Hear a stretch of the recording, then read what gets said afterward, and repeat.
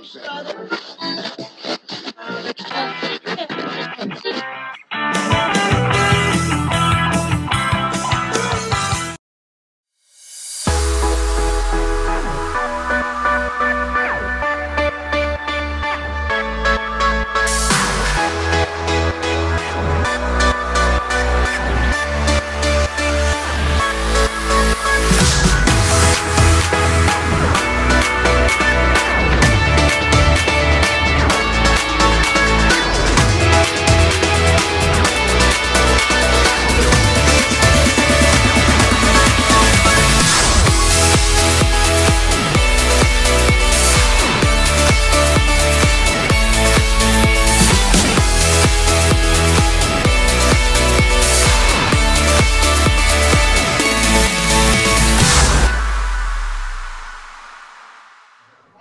So, morning everyone.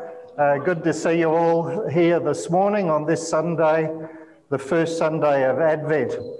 And one of the things that we normally do at the beginning of Advent is our tradition to try uh, to help us to prepare for the birth of Christ is to light a, a candle each Sunday on the Advent wreath. So I'll just uh, come around the front here to where the Advent uh, wreath is, and we will say together some liturgy. Mayday, Mayday, calling all Christians, it is time to wake up, for salvation is nearer than when we first believed. This is Advent, the season of great hope. The joy of the coming Christ be with you all. Oh, come on, it sounds as if you're asleep. Give yourself a rattle and wake up. So let's try that again. The joy of the coming Christ be with you all. And also with you. Ah, oh, that's better. So today we light the candle of hope.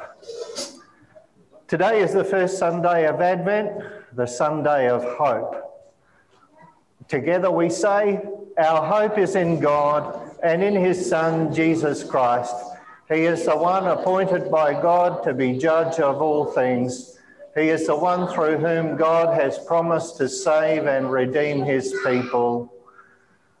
We light this first uh, candle of hope today, and George is going to come and light the candle of hope for us this morning. And it is that one there, Georgia. So if you just come around and grab the matches and light that one for us, that will be wonderful. So we light this candle today to remind us that He is our hope and the hope of the world. We thank God for the promises He has made to us and for the light He has brought into the world. So let's say together, O God of hope, Emmanuel, God with us, we pray to you to send your light into our hearts. Help us to be ready for the day and the hour of Christ's appearing. Live in us and help us to live in you. By the power of the Holy Spirit, touch us, transform us, so that our worship, our celebration, our time of preparation, may be pleasing unto you, both now and forevermore. Amen. So we're going to uh, enter now our time of worship and thank you, Georgia, for your wonderful lighting of the Advent candle. Let's all stand and begin with Living Hope.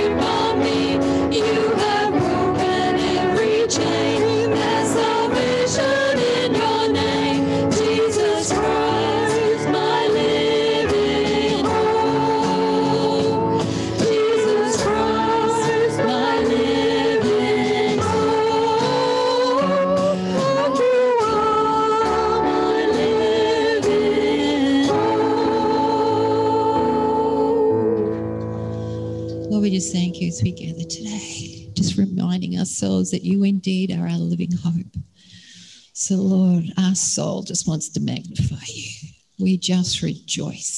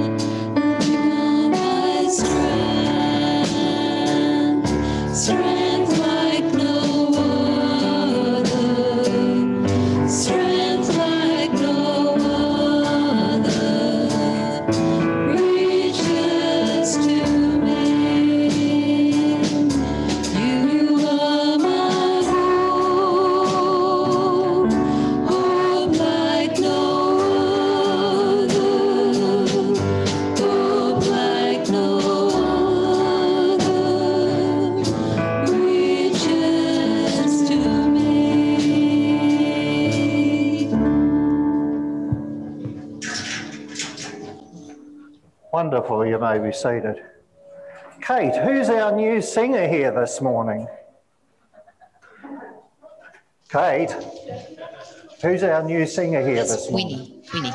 Winnie. Winnie. Hello, Winnie. Good to have you up the front with us. Great. Okay, kids, you're all in place, all down the front. Now, she's had about four or five Sundays off from doing kids' talks, so she might be a little bit rusty this morning. So, here's the rusty one. Come to uh, share the kids' talk with you. Is that working?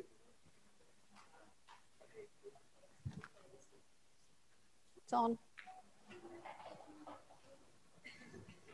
I've even got my notes with me this morning just in case I forget, because sometimes I do, because I'm a bit rusty, apparently. Thank you for that introduction, Steve. That's what you said in the car this morning. No, that's what you said in the car this morning.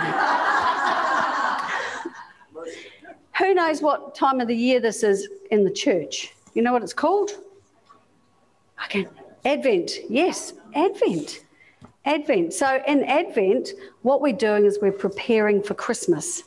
But we're not preparing for Christmas by shopping or by cooking or by buying presents or by wrapping presents but rather we're preparing for the real reason for Christmas, which of course is the coming of who? Who? Coming of who? Jesus. That's right. That's right. Okay. And as part of our Advent, Georgia lit a candle this morning. Now, there are, before we get to the white candle, there are four purple candles, and each of those candles represents a marvelous gift given to us through Jesus Christ. And the first one is can you remember what it was called this morning? Did you hear it? Hope. So the first one is hope. So, Georgia, what do you hope for? Maybe thinking about Christmas or school or graduation I, I have a hope for the end of COVID. Oh my goodness. Who else is hoping for the end of COVID? Oh, yes, we are all hoping for the end of COVID. Okay, so we've got our hopes. We hope that our football team will win. Yeah, and they did. Yep. We hope our football team will win. We hope it's going to be fine tomorrow when we want to go and do something special, all those sorts of hopes. But you know, there's another type of hope, and it's a bit harder to understand. So I was sort of thinking about it this morning, and I've come up with another word for it, and I think it's about depending on something to happen. So if you put if you put all your hopes on something, you're depending on it, aren't you? So if you put all your hopes on that one friend at school, and then that school leave, that that friend leaves, you're disappointed, aren't you? If you put all your hopes on one particular present for Christmas and you don't get it, then you're disappointed, aren't you? And it could spoil Christmas. There's lots of people who have put all their hopes on things like their businesses, their jobs, their travel plans, and COVID has stopped it. So there's lots of people that are feeling really disappointed with their lives at the moment because of that. But do you know? Do you know that you can depend on Jesus? You can put all your hopes on Jesus and you will never be disappointed by him. Okay, so that's quite a different kind of hope, isn't it? I've got a balloon here that I think shows the difference about that hope. I'm not going to burst it, I promise. All right. All right. So if I'm going to blow this balloon up with all my plans and my hopes, let's go. Okay, this is a plan or a hope for a promotion. This is a plan or a hope for graduation. This is a plan for a really good grade in my test. This is my hope for going out with a really good friend tomorrow. All right, so blow it up, put a knot in it. Oh, let's see what's going to happen with this now. So I've got a balloon. Okay, now to keep that balloon floating, I have to work at it, don't I? Okay, what happens if I let this balloon go? It's not going to float, is it? It's going to fall. Ben, you're exactly right. If I filled that balloon with helium, what would happen to it? It would float, it would fly. That's right. And that's just the same. If we fill our lives with our own plans and our own hopes, it'll sink. But if we fill our lives with the hope of Jesus, it will fly and it will float. I want to share with you a fantastic thing that's in the Bible, and I think I've read it to you before. It's from Jeremiah chapter 29, verse 11, and it says, This is from God. I know the plans I have for you, declares the Lord. Plans to give you a hope and a future. So, no matter what happens to your plans, no matter what happens to your hopes, you've got Jesus in your life, and that is the greatest plan and the greatest hope that you can have. So let's pray. Jesus, we just thank you that you came into our lives, that you came into the world at that very first Christmas, and that you are our hope and you never let us down. Amen.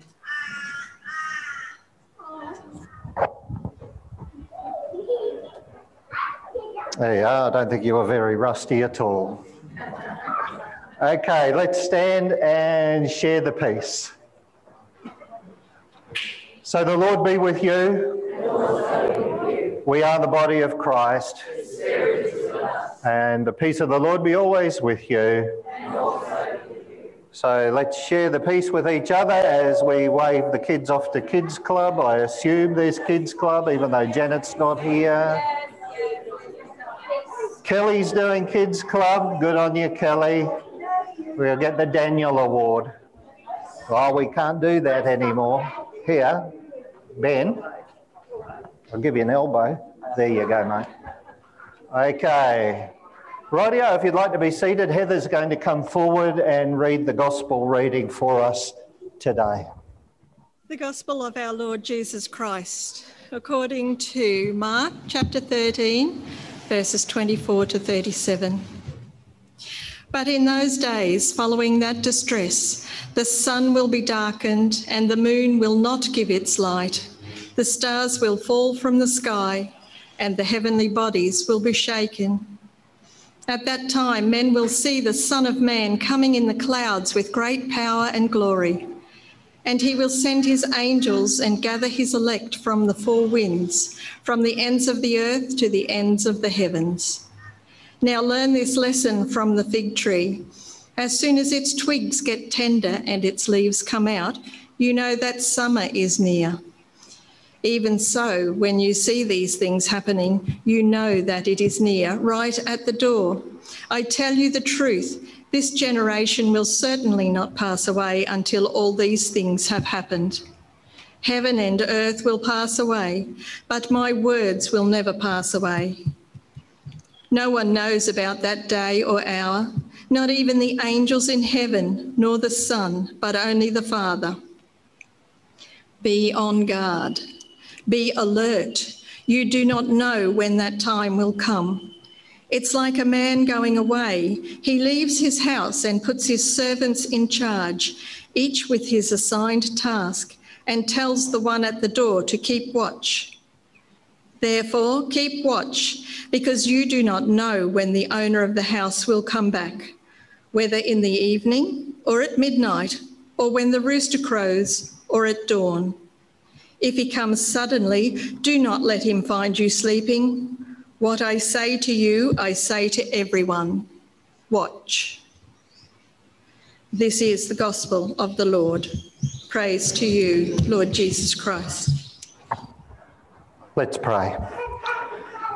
Gracious Lord, we come before you to ask you indeed to prepare our hearts, prepare our lives for the celebration of Christmas once again, and also the hope of your return, Lord.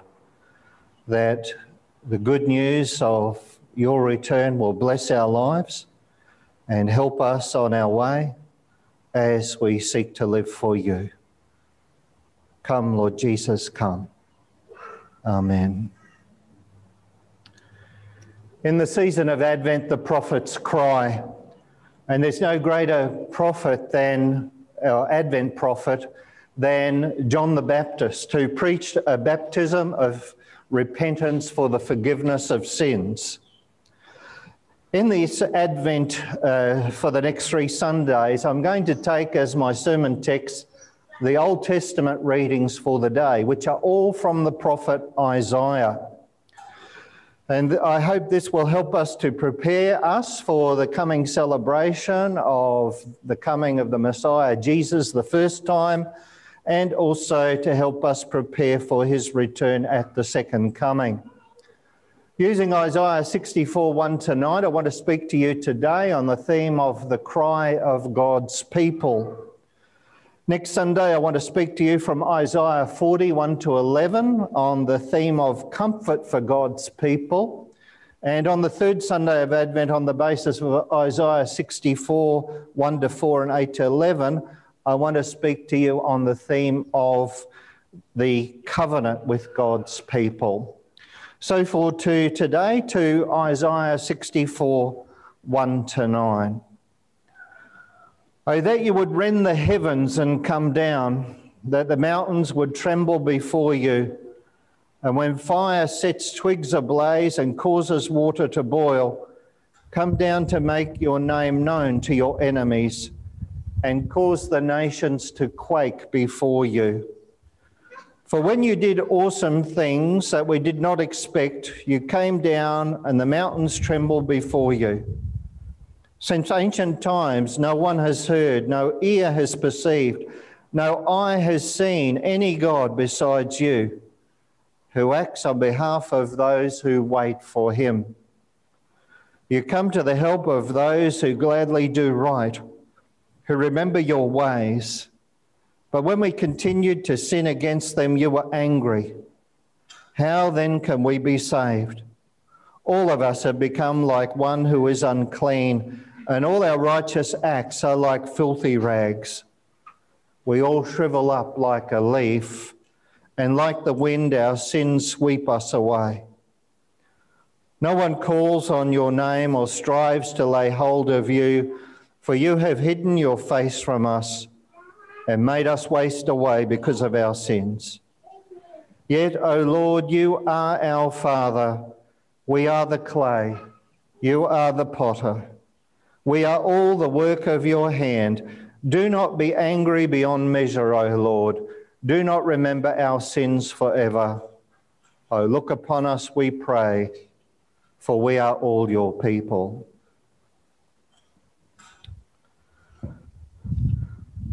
The official celebration of Christmas begins in the church on December the 25th, going all the way through to the 5th of January. Now, this season of Christmas is often called the 12 days of Christmas, but society has really got the jump on the church as far as the celebration of Christmas is concerned. Stores have been celebrating Christmas virtually since the beginning of November. Whenever you go shopping, the carols are playing, Christmas songs are playing in the background.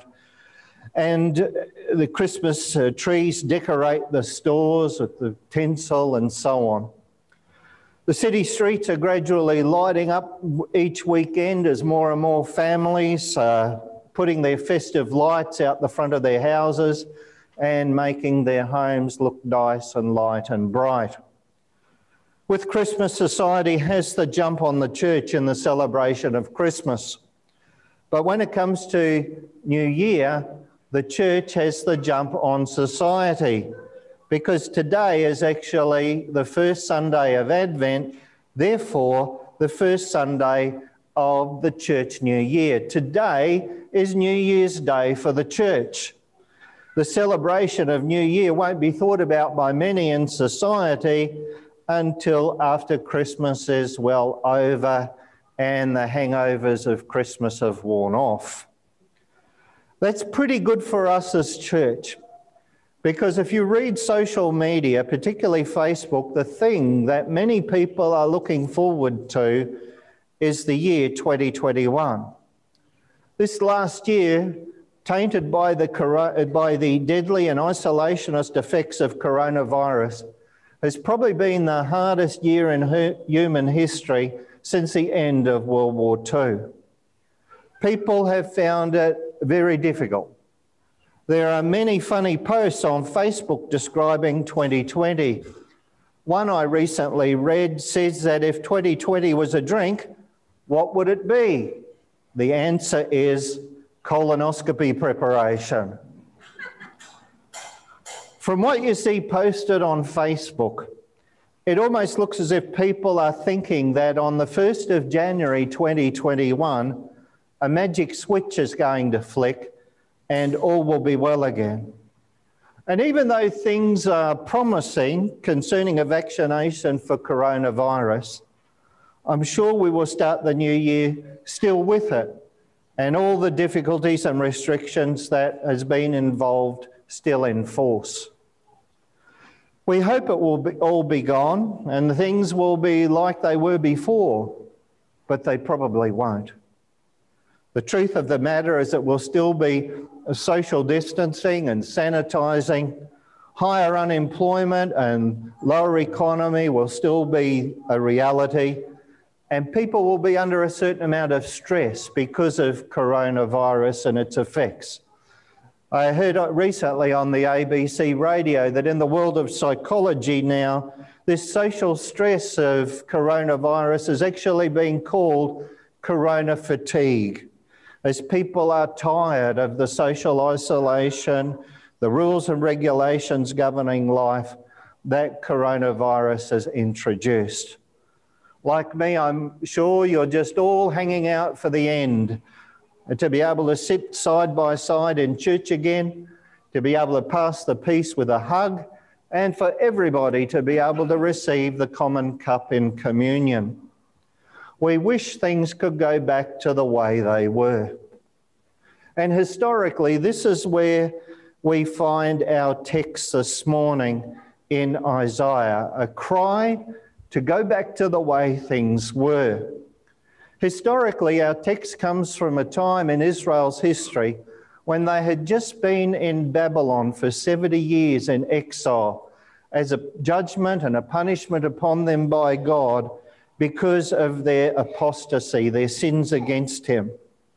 But now, after 70 years, they were released and they were free to go home.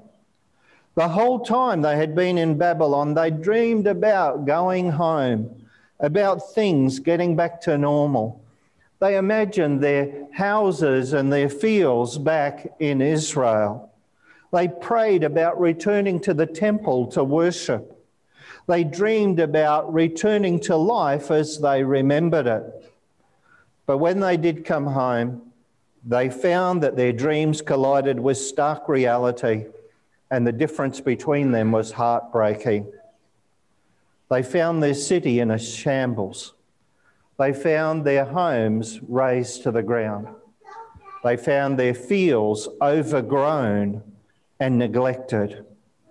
They found their temple, the place where the very presence of God was supposed to dwell among them, a ruin. They were devastated. Something was wrong. Something was very wrong. And you know, even when they rebuilt their city, their homes, their temple, their farms and fields, it just wasn't the same as before. Even though they hoped for the better, it did not eventuate. And that is where we too find ourselves, not only with coronavirus, For even when we do get a vaccine, things won't automatically pop back to the way it was before. And it's the same with many other aspects of our lives. The illness that we've been struggling with now, maybe physical or mental, will probably still be with us in 2021. And even though we might improve or be cured, it will still leave a mark on us. And we won't quite be able to go back to the same as things were before. We may have gone through a relationship breakdown in 2020. And by the time you get to the end of 2021, you may have resolved the fallout somewhat, but you won't go back to things being the same as they were before. And this kind of pattern can happen in many areas and aspects of life even in the church. Now, coronavirus has put most churches into neutral. Plans for ministry development and mission initiatives have been put on hold for many churches in 2020. They've been replaced with industrial plans and health and safety. During the time of lockdown, some people have disconnected from the church. Others have had their health decline during this time and are no longer as vibrant in their health as they were before COVID came and we had the lockdown. Finances became a struggle for some churches. And to get enough volunteers to run the basic programs of the church became a problem. As the regulations ease, though, and things gradually get back to some semblance of normalcy, things are improving but they will never go back to the way things were before coronavirus. Why is life like this? And why is it not only like this now, but has been so all through human history? Well, it's because there is something wrong, something inherently wrong. As Isaiah says, we all shrivel up like a leaf, and like the wind, our sins sweep away sweep us away. You see, by nature, we are all sinners. The prophet says, All of us have become like one who is unclean, and all our righteous acts are as filthy rags. In the Garden of Eden, when Adam and Eve sinned against God, the tyre blew out. When a front driver's side tyre blows out at speed, the car usually bites into the road and flips around and does a 180. If the car continues to keep going forward in the opposite way, it goes forward not in a straight line but all over the place. This is the, this is the result of what happened in the Garden of Eden when Adam and Eve sinned. Instead of driving to God, the car spun around and went in its own uncontrollable direction. All of the children of Adam and Eve inherited this lifestyle, going away from God under their own misguided control, blown out by sin. The church calls this original sin. All of us are tainted by sin. All of creation is tainted by sin something is wrong, inherently wrong. And there is nothing we can do to turn ourselves around. There is nothing we can do to save ourselves from the situation we are in. Things will never go back to being normal again. As it is in its current existence, the world will never go back to as it was before in the Garden of Eden and the fall of humanity into sin. Things will always be broken. The tyres of life will continue to blow out, sending us out of control. And some of those things will be the result of what we do, and others will be the result of what others do. Isaiah weeps and wails and wallows in the uncomfortable truth of Israel's responsibility for the mess that it is in he acknowledges not only the gap between the people of God and God, but also the gap that exists between who they are as creatures and who God is as creator. And given that chasm, Isaiah gives voice to our yearning for the presence of a helper, our Saviour, someone to rescue us, someone who will come down with unmistakable power and force and deliver us, rending the heavens, splitting them open, coming down in power and glory, making the mountains tremble and the nations to quake, coming to make everything that was broken right again in power. But after begging for this display of God's power and its awesomeness, and after his lament over the wretchedness of humanity and the gap between creatures and the Creator, between God and his people. Isaiah makes a turn from something big and scary and apocalyptic to something personal, close, and intimate. Yet, O Lord, you are our Father. We are the clay. You are the potter. We are all the work of your hand. The image of God as potter and God's people as clay breaks this passage open before us.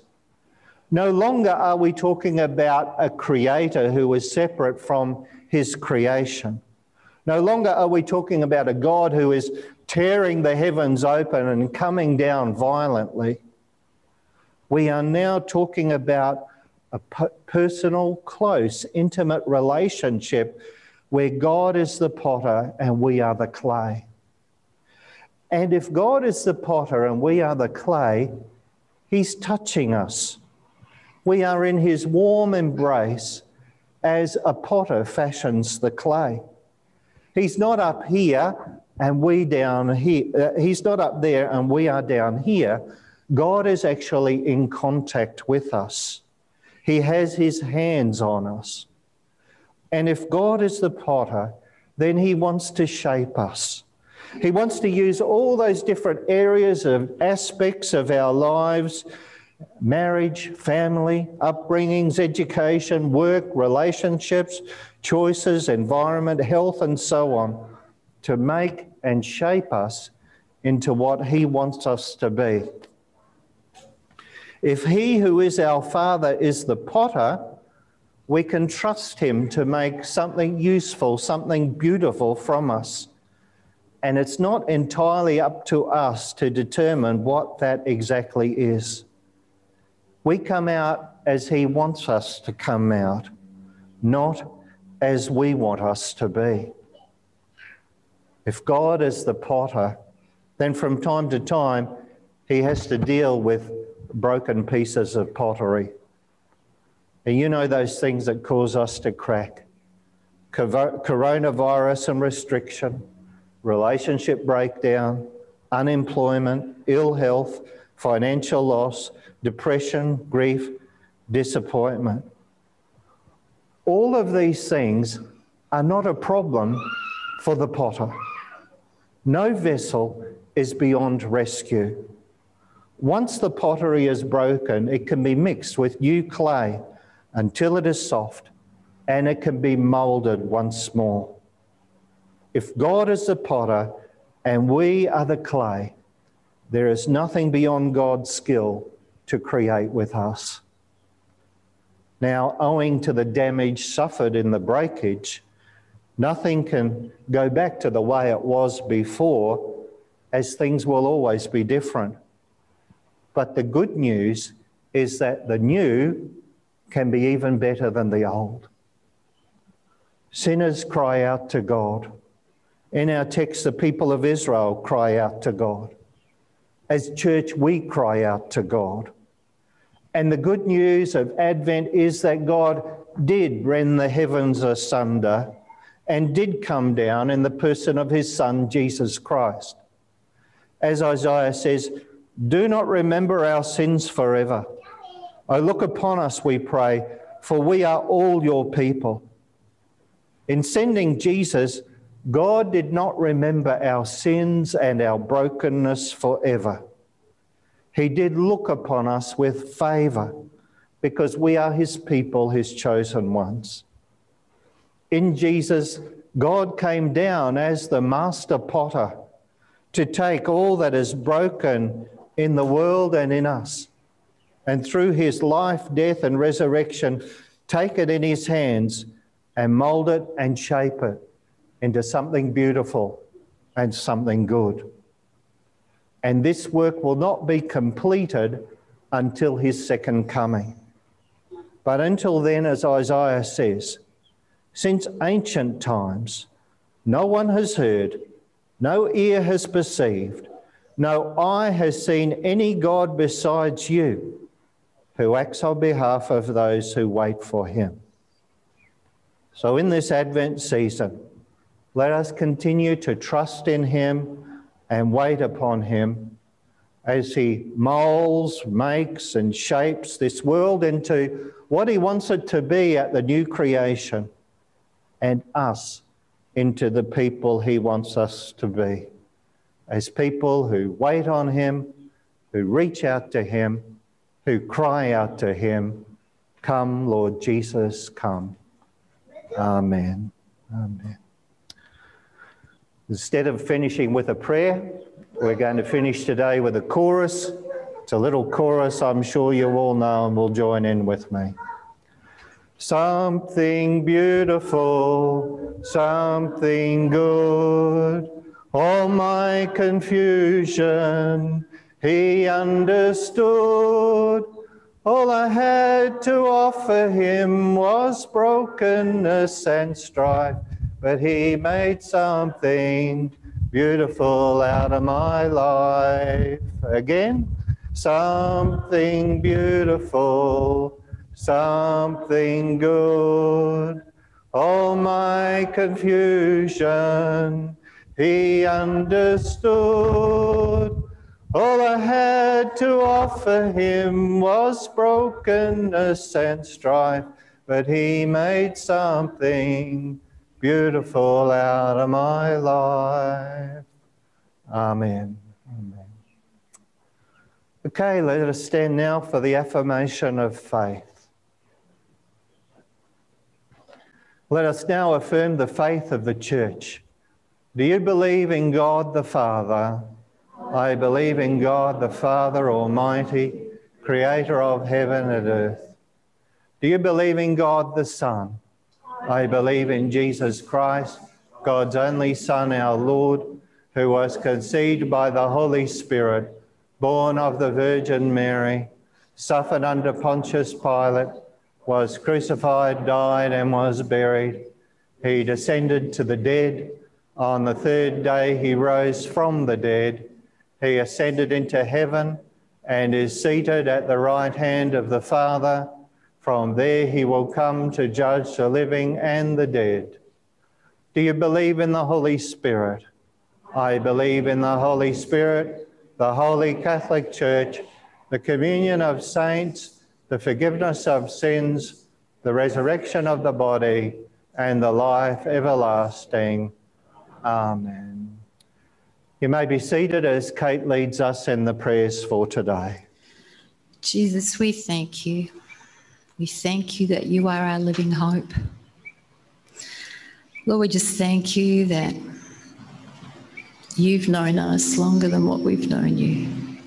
Lord, you formed us, you created us, you've made us, you've set us apart. As your word says, you know the thoughts, the plans that you have for us one's to prosper, one's to be filled with peace. Lord, we just so thank you. You are just so good. And Lord, as Steve's just spoken of this year and, and the difficulties that people have had through it and the unpredictability, and let you, Lord, are our rock. You never fail. You are a sure footing, steadfast in all your ways. Lord, we just want to come and we just want to give you praise. And Lord, as we prepare again for as we go forth in this Christmas season, this time of Advent, Lord, we really just want to surrender to you. For you are the only thing that is steadfast yesterday, today, tomorrow. And we're excited, Lord.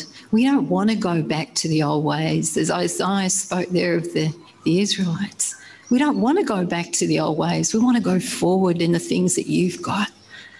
So, Lord, we would just pray over this time that you would pour out your spirit. Pour out your spirit on your people, Lord. Give us eyes to see and ears to hear all that you have, where you're leading us, what you're doing. That, Lord, as I reflect and think of the shepherds, they sat on that hill and they were blown away as your angels just filled that space. Your glory, Lord. Lord, that's what we're crying out for your glory. We just bless you. We thank you. We love you. So, Jesus, we thank you again, and we just thank you for the prayer that you gave your disciples that we can proclaim your kingdom come. So, let us pray together. Our Father, who art in heaven, hallowed be your name. Your kingdom come, your will be done on earth as in heaven. Give us today our daily bread. Forgive us our sins as we forgive those who sin against us Save us from the time of trial and deliver us from evil. For the kingdom, the power, and the glory are yours, now and forever. Amen.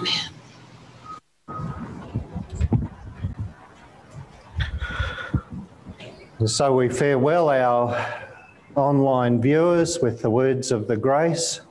The grace of our Lord Jesus Christ, the love of God, and the fellowship of the Holy Spirit be with us all evermore. Amen.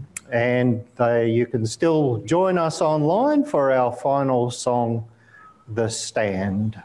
Let's indeed stand and sing together as we prepare for Holy Communion.